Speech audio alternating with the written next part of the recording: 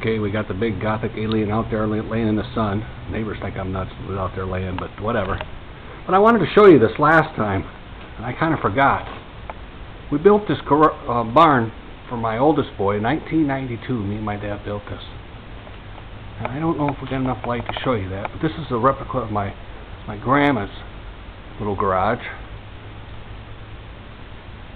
But like I said, if you can build, there's a hayloft.